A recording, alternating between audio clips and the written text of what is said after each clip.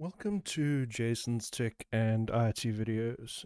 Today we're going to look at a problem with SARS EasyFile not displaying PDFs. So if you try to view your PDF, you'll see that you might have a gray screen uh, with a close button at the top or maybe just a close button. So we have one workaround if you're in a quick bind and you've got a small number of uh, companies that you need to look at. Uh, the first workaround involves uh, using the run command.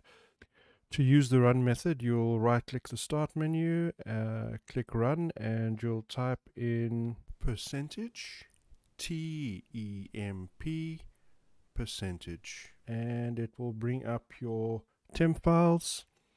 Then you'll click the columns at the top here where it says date modified. The PDF file will be named according to the PAYE number and cert number if viewing a certificate.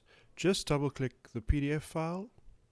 Also be aware that this PDF file will be deleted once you click the close button in EasyFile and you'll see that the PDF displays just fine in Adobe Reader. And you'll note in the actual registry calls, it actually looks for the 32-bit version of Adobe Acrobat Reader. And as you can see, we're using a 64-bit version here, which will bring us to our second workaround. So for our second workaround, we'll click the Start button. We'll type in control panel.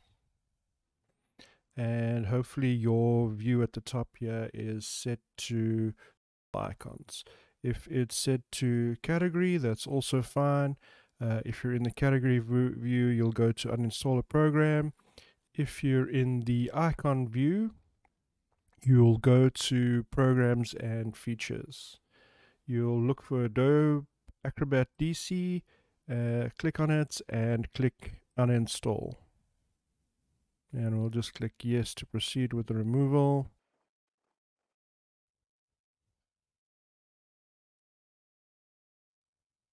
Okay, so once you've uh, removed the 64-bit version of Adobe Acrobat Reader, uh, you'll need to download the 32-bit version.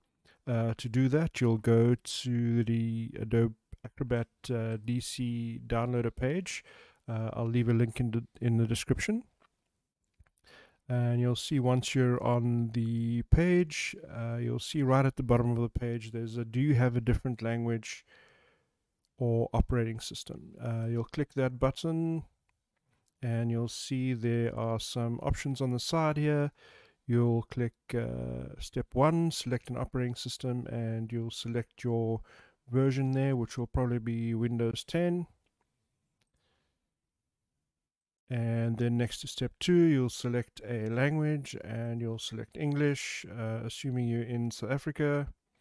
And then you'll click uh, select a version and you'll see that there's two versions listed here. One is uh, the 64-bit and the one without the bitness at the end is the 32-bit version.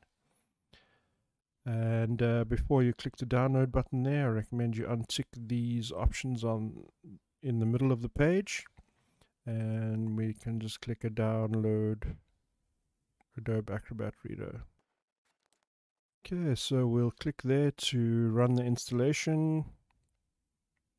Now, one important thing to know while this downloads is that um, when Adobe Reader updates, it will automatically update to the 64-bit version of Adobe Reader. So after we've installed Adobe Reader, we need to do a few more steps to ensure that uh, we stay on Adobe Reader 32 bits. Uh, it will have some security implications. Uh, so once you're done with all your EasyFile submissions, uh, I would highly recommend that you undo those steps, uh, but we'll talk about that now. now. Okay, so we can see that Adobe Acrobat Reader has a completed installation. We'll click the Finish button.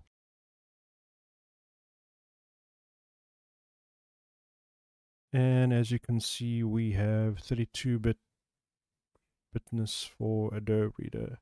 Uh, now we also want to make sure that Adobe Reader doesn't update uh, to the 64-bit version. So we'll open up the registry.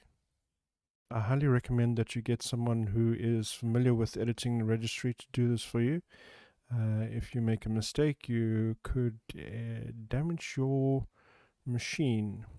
So we'll click the H key local machine uh, entry there. We'll go to software. We'll go to WoW 6432 node. We'll go to policies, Adobe, Acrobat Reader, DC, feature lockdown. And we will create a new D word. And we'll type there B update to single app and we'll just leave that value as zero then we'll go up to policies Adobe Acrobat Reader DC feature lockdown and just make sure that the key is there as well and that hopefully will stop uh, Adobe Reader from updating Okay, let's go back to EasyFile. And you'll see now that we've clicked uh, View Certificate, the PDF is showing just fine.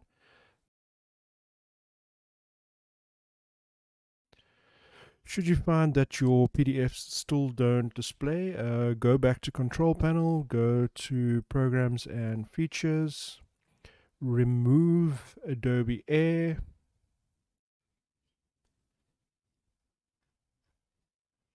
remove the EasyFile employer application and remove the EasyFile FW and also remove Zulu Java and then run the installation for SARS EasyFile again. Also make sure that Adobe Reader is set as your default application for PDF files. You can do that by clicking the Start menu, clicking Settings, typing Default, and then the Apps window should come up. And down here at the bottom, click Set Default by App. Click Adobe Reader DC, click Manage, and make sure that all of these items here are set to Adobe Acrobat Reader DC, especially the PDF XML, which in some cases isn't always assigned to Adobe Acrobat Reader DC. I hope you enjoyed this video. If you do have any questions, please uh, drop them in the comments and don't forget to like. Thank you so much. Have a good day. Bye. Percentage T E M P percentage